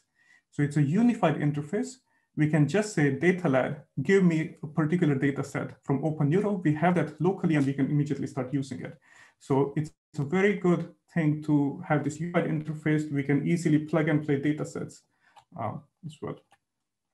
So this is the use case. This is the first workflow. We have already existing pipeline, which is the human connectome projects, which uh, Michelle also mentioned. It's one of the most commonly used uh, neuroscience, neuroimaging uh, data sets the it's locally on the disk. So for the existing pipeline, we take uh, that data set from the disk, calculate, for example, some connectomes on all the subjects, and then do some machine learning analysis, for example, to predict um, some score uh, that's also available in this data set. Now, what we want to do is to replace the local disk with the, with the data. And to do this, what we need to do is basically get the repository and then use the DataLad get command for the subject whichever we want to connect the connector for. We do it for each subject one by one. And then we have, let's say, our first uh, DataLad uh, workflow. But as you can imagine, immediately as we start using a new technology, things happen. Things that uh, sometimes make sense if you're an advanced user, but if you're not an advanced user or even uh, intermediate user, then things happen that might not make sense. And this is what happened. Uh, and I'm going to give you a few examples of what happened and what did in that case. So the issue in that case was basically, we started this uh, to design this pipeline with a student who ran the DataLad clone command, and then I tried to do the data lad get into this data set, and bam, it didn't work. Right? Um, so of course, then we need to needed to go into the documentation, check, uh, ask for help uh, from the very nice community. And basically, DataLad is user-centric. It's secure. Of course, we don't want someone to randomly make changes to our data set, right? So it's, it's a good thing. But in this case, we wanted to share a data set uh, between collaborators, for example. Um, so there is um, a way to deal with this, and we basically tell data, DataLad when you clone the data set, be reckless and share it with the group. And then it gives right access to all the members of the group, and then we solve this issue. So if multiple people could run get command into the data set, then the first uh, issue was gone. And then we ran into the next one, right? And the next one was basically, there are many concurrent read-write, one per subject. Hmm? Let's say we have 1,000 subjects, there are concurrent operations happening. And at the end, data set is a Git repo. Files get locked, unlocked. As a very basic Git user, um, I didn't know what to do, right? And again, with the help of the community and the very nice workflows that Michelle has developed and shared also online, uh, the solution was to create a throwaway clone. And what that basically means, clone it locally for each subject. So for each subject, we create a new clone, get the data of that particular subject, use it, and then forget about this one. So we just need to save the output in some place where we can access it uh, afterwards. This worked very well. And then the next, right? Uh, for example, we wanted to use MATLAB in this case, and there is no API uh, for MATLAB for using DataLad.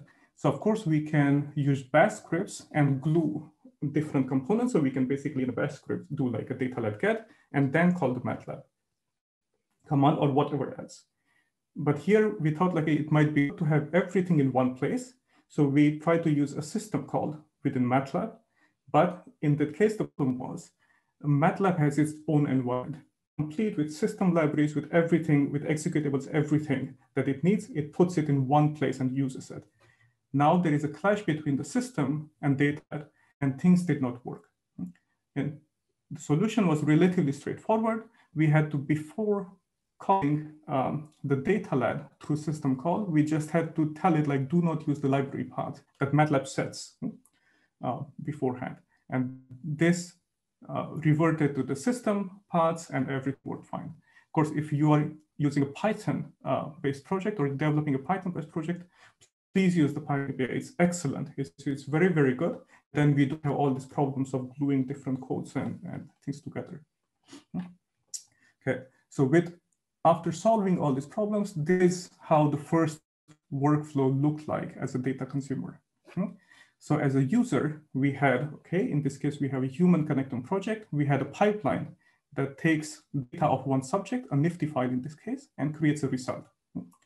We had to define some parameters for the cluster, and then we say, okay, uh, run for a bunch of subjects this code here, which basically contains of two parts. So one is the DataLad part, and one is, let's say, processing part. The DataLad is basically cloning the repository locally. So this is our local throwaway clone, as I mentioned. It gets the file, then it passes control over to the processing script, creates the output file. And because it's a, it's a temporary directory where we are storing everything, of course, we don't want to lose our output. Then we move that hmm, to the NFS. Then it's accessible to, to us afterwards. And as a data consumer, this worked very, very nicely. So here we could capture exactly data was taken from which location, but we did not capture, in this case, how data was generated. So DataLad also offers all these possibilities, but it, as a first use case, we do not use it because we are uh, building gradually in that direction. Okay. Now, why to use um, DataLad in this case is there is very, very big data sets um, uh, available in the neuroimaging community. And one of them is UK Bank, which Michelle also mentioned. It has lot and lot of subjects, which is very good for answering machine learning related questions, uh, especially to create modeling. Uh, to, if, let's say we want to predict uh, brain age prediction, or for example, some, some cognitive score, more the subject better. Problem is it does not fit locally, this data set. So there is no way I can just take everything, put it even on the cluster storage on the NFS and start using it. Uh, it might be feasible in some cases, but, but very unlikely, I would say. Also, the data changes dynamically. For example, subjects can withdraw their consent, and then we have to remove this uh, from our analysis. So to do this is basically DataLad solves both of these issues very, very nicely. Right? So we can basically take the data as we need, hmm, so on demand, and also who withdrew their consent is automatically tracked and our analysis is compliant uh, with the regulations. To coming to the machine learning part uh, of the story, so we have developed a very simple thin layer on scikit-learn, which is called julearn, uh, following the convention. The idea is to provide a one-line cross-validation tool. Hmm? Um, of course, you, you have to prepare the data and so on, but once the data is prepared, in one line, you can uh, do the cross-validation analysis. It has some additional benefits. Uh, it provides confound removal, which is a very big uh, issue in many uh, problems, especially in clinical domains. Uh, and as far as we know, there are no standardized tools to do uh, confound removal in machine learning. So we implemented this. Um, it does it cross-validation consistent way because of time limitations, I will not go into details of how exactly it is done. So if you're interested, just get in touch or look at the documentation uh, online. Uh, it also supports pandas data frames, which uh, surprisingly scikit-learn um, does not so far, as far as I know. And we, there are also many examples. Uh, so you can go through these uh, examples if you like. So here is how a machine learning pipeline, a simplistic machine learning pipeline, to be honest, would look like. Hmm? So there are already different feature set, there are different scores one might predict. There are train and test splits that one has to do. So uh, Morris also very nicely explained that the machine learning is not like you we throw the data at it and everything happens, but there is many, many things that needs to be set um, before we can actually get a model. So this is one uh, ex example of how this can happen. And here you see already there's that more than 3000 pipelines. So if we run this in a traditional way, we lose most of the information of exactly what happened when. So this is just an example, but you can imagine this is gets even more complicated uh, with different feature sets, uh, different algorithms, different way pre-process the data and so on. So we want to track all of this. Uh, and that's why uh, we are moving towards DataLad. Hmm? So how did it look like? So this is ongoing work. So the first stage as a complete data consumer, I would consider is done, right? So we know how to consume data using DataLad. We can count ourselves as like a basic users of DataLad. And now we want to improve uh, with that. And we want to capture more and more information uh, with DataLad. So the way we envision this is basically a user basically tells us like, this is the data set that we want to use. So here's the, the DataLad data repository, a list of subjects and one pipeline, for example, that converts the subject files into some output files. So as before, we follow our what the lessons that we learned. So we create a throwaway clone, process the data, we move this to NFS, but this time we will also track these outputs with DataLad. Right. So once all the data is there for all the subjects, there can be call control um, over that. And then a user can trigger the machine learning or group analysis uh, on top of that. Now, as we know, this is not a simple case of just running it. So there are multiple things that need to happen. There are algorithm choices, hyperparameter choices, feature choices, and so on. So this will, is going to be it's almost some kind of a iterative process. And all of this we want to track and follow, uh, capturing what happened, how the data was split, which algorithms were run, where the outputs are, what the performance was. So all of this information will be tracked uh, using DataLad. One additional important thing is reusability of whatever we are doing. So let's say we have 50,000 subjects just running this, this feature extraction part. Let's say we go get from the raw data into some kind of features that we want to use for machine learning.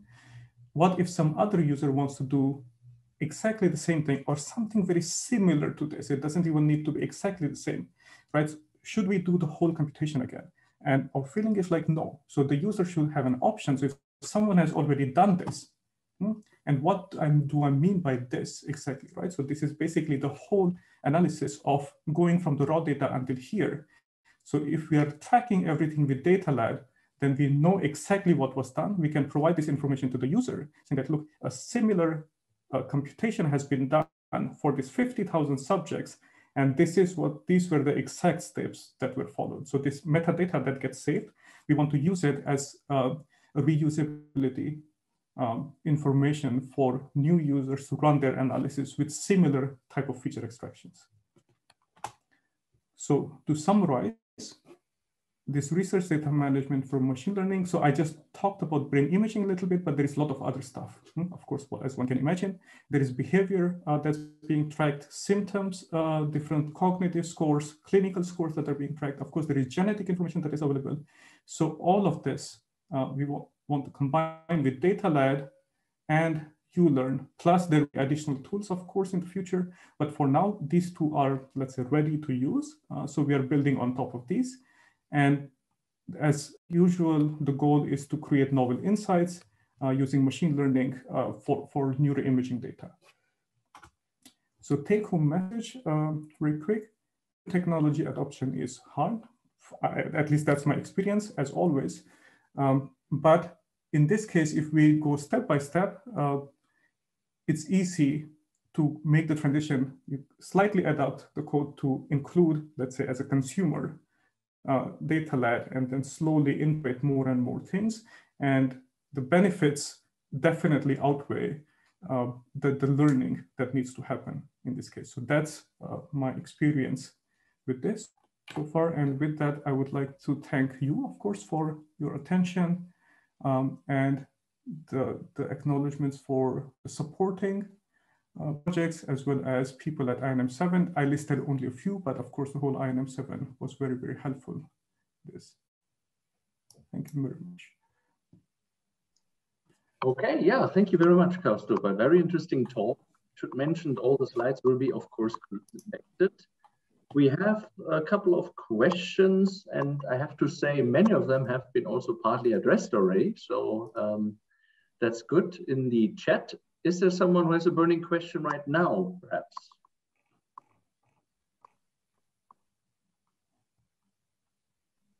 Going once? Nobody in the audience want to ask a question? I have one burning question. So when I think about how people can get started with DataLad, um, thinking also we have a project with FZJ and uh, you're using this in the Institute of Neuroscience and Medicine, how realistic would it be to, let's say, reuse the same installation, the same setup that we have in Jülich already for another community, which is now neuroscience? Um, I'm not sure, Michael or Kaustubh, um, what do you think about this? Is it easy? Does it make sense? Do we need another DataLad instance better? Um, what is your feeling? I, I can make a start. The uh, um, if you if you look into the DataLad handbook, there's a there's a dedicated um, you know installation section as you would expect, and uh, the the the DataLad deployment on the the JSC's uh, uh, systems is pretty much two lines uh, in a in a Python virtual environment, and and that's it. So we didn't even approach uh, um, you know some sort of deployment consolidation because there's really no, no cost.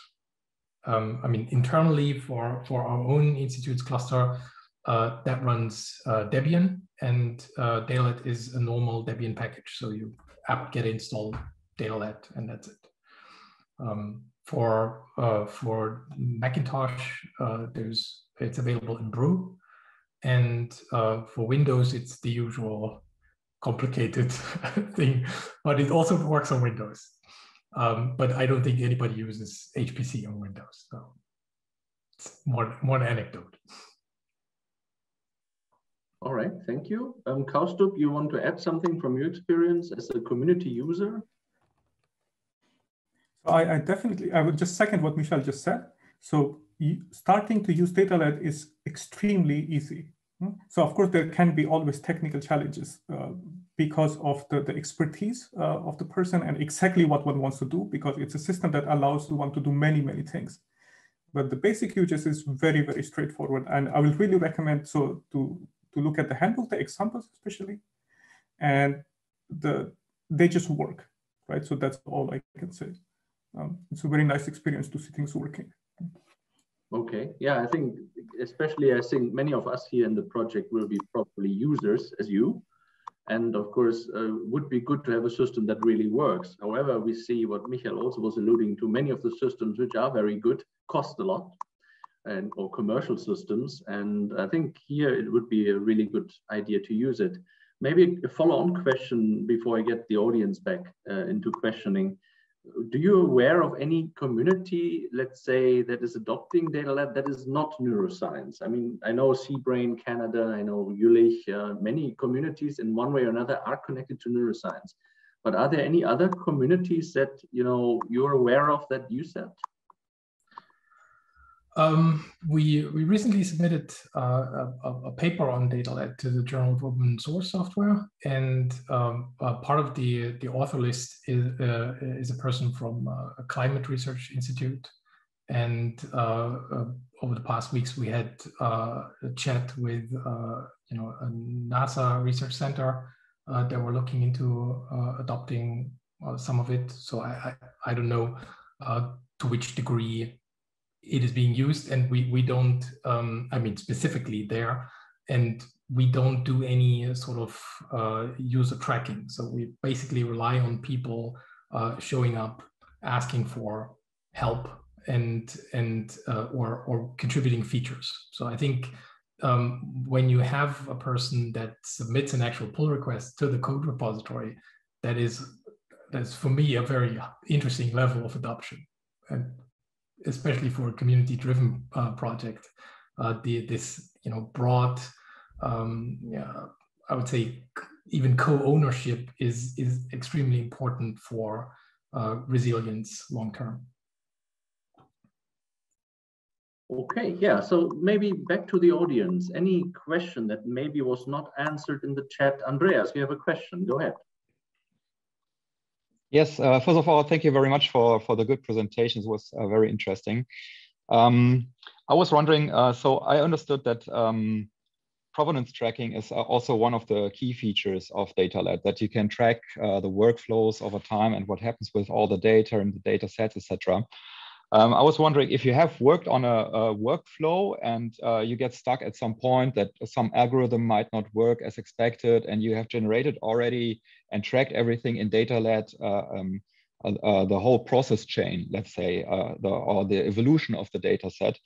Um, and you need to go back to a certain point in time and start over again. Is it possible then to remove in DataLad uh, the, the process chain that which is wrong, yeah, in quotes, so that um, that it's not available for others, that others uh, would uh, make the same mistakes and follow the wrong pipeline instead of going the right direction, especially if you make it uh, public, let's say. Yeah, so um, I think there, there are various aspects. So one is, um, uh, I should mention that this run tool that I that I that I mentioned for capturing that process information, uh, there's also a rerun tool that can act on it.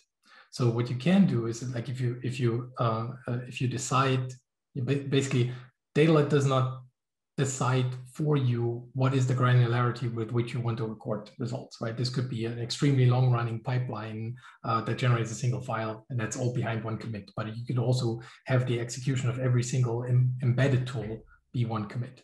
And you can tell that rerun tool to say, okay, here's the recording of my pipeline. Now rerun it but based on another state of the data set. Right? And it will build up a parallel history, which then you can compare using standard Git tools. Right? So you can everything that you can do with Git, you can still do in that context because the commits themselves will either have the content or just the identity information of the of the content that you that you generate. So you can you can specifically ask for did this file change between you know between this and that, and you can provide uh, helpers basically that quantify changes and you can use git bisect to figure out which change in your code led to this type of magnitude of change. So it's it's it's a really powerful uh, tool. The uh, the, the the last aspect of your question uh, i think is basically concerned with rewriting history right? So if you're if you're if you're generating a history and then at the end you want to get rid of uh, everything that did not work or uh, was buggy for some reason and you don't want to you know share it for whatever reason technical not burden somebody with all the stuff that is irrelevant um, then you can also use standard Git. Uh, you can you can throw away, uh, um, you can re-edit commits. You can specifically only share a single branch and leave everything else uh, privately. Uh, it's it's it's whatever you can do with Git. Um, uh, and, and here we're getting into also the forensics basically of, of software development, right? So, and, and Git is really sophisticated in that uh, in that sense because uh, in projects like the Linux kernel, right, you have to do complex operations, uh, figuring out which one went where, and then at the same time they don't want to have everybody's trials in the history of the main project, right? So that's exactly the same uh, problem, I would say, uh, matching your question, so that that works. Okay, thank you. Right, okay. Um, another burning question. We go a bit over time maybe because of the technical difficulties and I will close very soon. But one more question maybe from the audience. There is a question in the chat, Morris. Ah, okay, I don't see it. And the question is, how does DataLad tie into ML ops? Okay, that's from Kurt. Very good. Michel, do you want to start with this and then maybe I can I, add? I should not be the one starting. I don't know what ML ops is.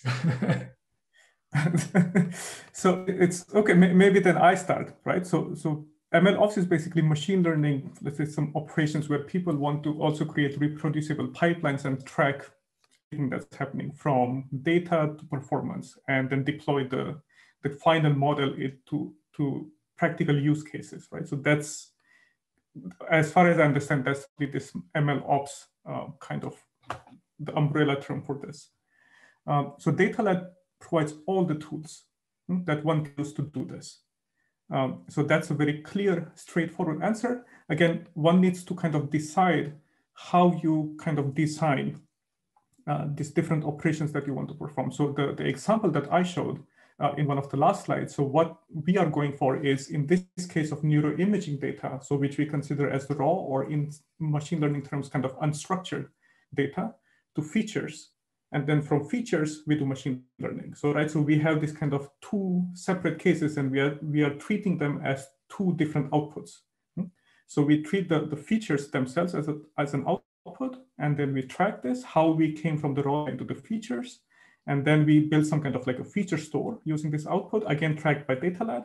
And then we pass that into machine learning operations for learning, uh, cross-validation, dual selection, and so on, which again, tracked by a separate DataLad dataset. So that's the way we have kind of designed this. But of course, you're free to choose how you want to choose different components and track them. I hope that answers uh, the question at least to some degree. Yeah, uh, maybe maybe just a, a quick add on to that uh, now that I know what it is, the, um, the, the, the, key bit is always that there's a, a data data set that has everything that's necessary to generate uh, its the output that it tracks from inputs that are linked, from computational environments that are linked, and have the, the provenance attached to it. And now, depending on what the inputs are and what the processes are that you're capturing, that could be ML ops, right? So it's, uh, but it could also be just file format conversion, right? That is that is just a trivial execution that just is a meaningful first step for every subsequent processing.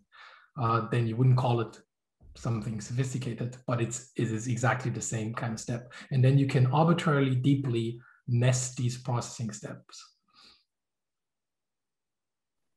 Okay, good. Yeah, I think actually in CoE RAISE we have probably other tools as well, Kurt, that we we're going to use for that um, from PyTorch, TensorFlow, and, and some specific tools. I think in the light of the time, um, it's time to close the seminar, but these gentlemen are surely there in the community to help with questions. We will provide the material online. And I just want to close with a couple of last slides here. First of all, thanks again for all of you joining. Um, sorry for the technical difficulties in the beginning. That was quite unusual, but happens every now and then with these digital seminars. So just to wrap up a little bit, um, if you want to know more about CoE RAISE itself, um, please go to the website. That's what you already know. There are all more details about the use cases, where we at. I hope the seminar gave you some idea um, what tools are relevant for us. And you see here just what we discussed with MLOps and the other tools. Um, DataLad is one of them. We use also Horovod, TensorFlow, PyTorch, Jupyter, and all of those. We not necessarily give always seminars about it, but we look more into AI tools from the tool set. And that's why I also want to give you a, basically a sneak preview what's coming in the June seminar. But before I go there, just a reminder again, if you want to see what we did in the April seminar, uh, this was the uh, interaction room seminar. So two hours are recorded on YouTube with question and answers. Please feel free to go there. And also if you're there, please subscribe to our channel on the CoE RAISE um, if you want to know more. Um, the short appetizer for June, um, the date will be announced uh, basically mid of June when we have the speakers confirmed, um, is a toolkit called HEAT, and it has really heat inside, I can tell you for many different reasons. So the Helmholtz Analytics Toolkit has been grown from science and engineering use cases. And this is a little bit of difference when you compare to many of the other frameworks which are around from PyTorch, TensorFlow, and the known ones already. So in a sense, I call it HPC by design. So thinking about CPUs, GPUs, distributed cluster systems, and so on. So it kind of fill in the gaps between these typical machine learning libraries, which are much more used for workstations, single nodes, versus the HPC cutting edge uh, use cases we have. And it's Python based, it's a very, nice Python API. It is uh, sustainable, uh, created by Helmholtz. And I just give you a brief overview here and also a personal short anecdote, which is quite interesting here for us as, as host here as the University of Iceland, because one of the driver of this heat framework that we're gonna hear um, that also gets relevance in the Helmholtz AI um, framework in Germany. It's a large network of machine learning people working in science and engineering. So not any commercial use cases, recommenders or so, or rather really science and engineering. And hence they're very comparable to those use cases we have in CoE RAISE sometimes. And the interesting anecdote I wanted to share is just here, Markus Götz is one of the drivers. Um, you see him here. He was graduating from the University of Iceland here uh, since some time ago. And uh, it's, of course, for a professor, quite nice to see that uh, the connections you build during studying uh, to promote careers of scientists, of young scientists here in this case, are really working well. He's now one of the team leads in Helmholtz AI in Karlsruhe. More coming back to heat, what you can expect from the June seminar is to get more an idea why heat is quite interesting for us, not only because it's used by many science and engineering use cases, but you see also it has some features which other tools have not, um, from um, automatic differentiation to single multi-GPU usage, um, something we're going to look at and of course, we'll closer um, have a look when we have this seminar. So stay tuned, please. Um, be ready in June. We will announce a date and time um, basically within June timeframe. And this could be really also an interesting technology of choice for some of the CoE RAISE use cases and AI models. You see, they also not only uh, support neutral, uh, neural networks, they have also clustering and also, let's say, more helper methods in data science like principal component analysis or singular value decomposition. So things we probably need when we go to the use cases. And this should be just a short announce. And I think that's all from my side. Thank you very much. The recording will be shortly available of this um, event um, on our YouTube channel. And with this, my final thanks go again to Kaustubh and Michael to be available and see you next time. Thank you. Yeah, thank you very again. So thank you. Cut the video here. And bye bye. Thanks also for Adina. I want to say I think I have seen her video. Wasn't that with the rabbits? Oh, that she did many. That's one of them. Yeah, yeah. I remember one of the one uh, where is she? I think in the in the rabbit.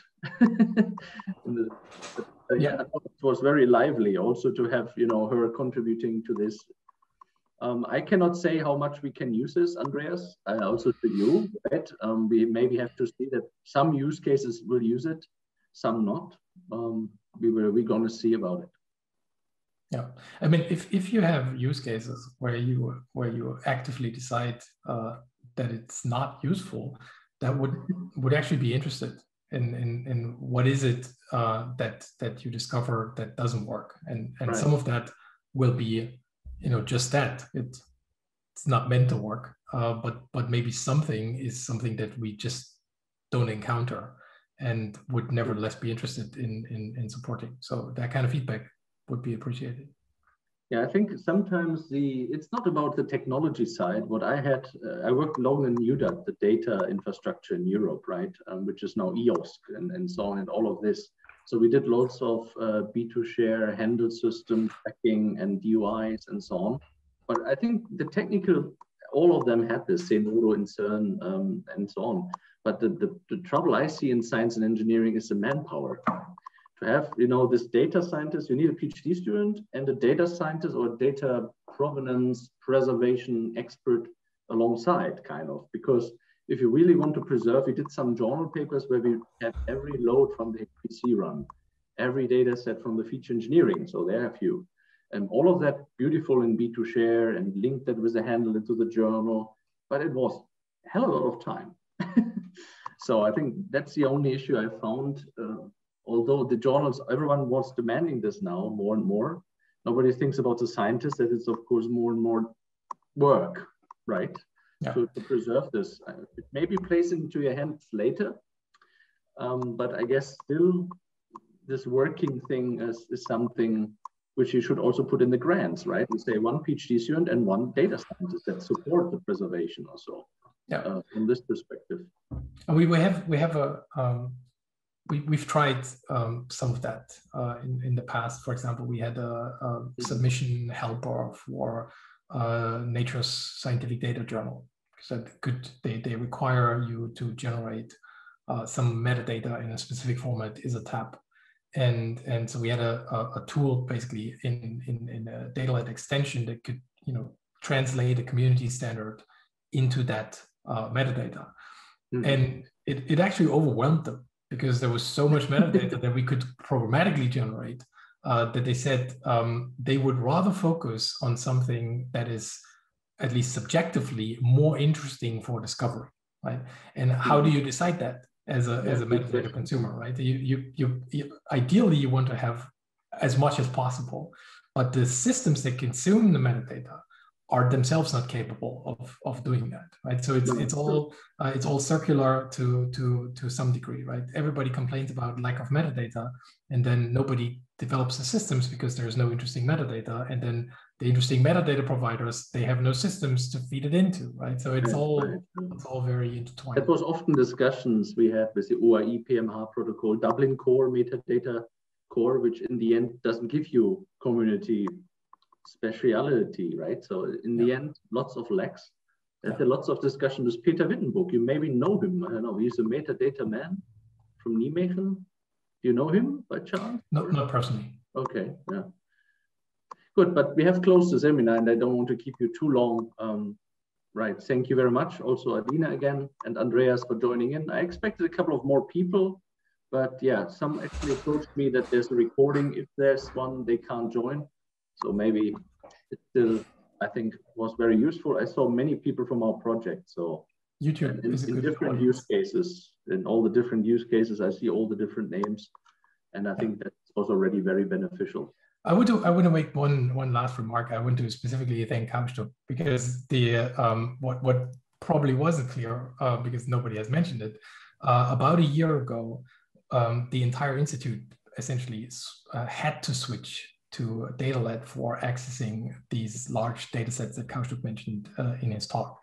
And, and of course, then there is, there is a sudden increase in support uh, requirements, um, specifically from, from, the, from the advisor side, right? Because all the students now have, have questions. Whatever they did before, now they need to be doing something else.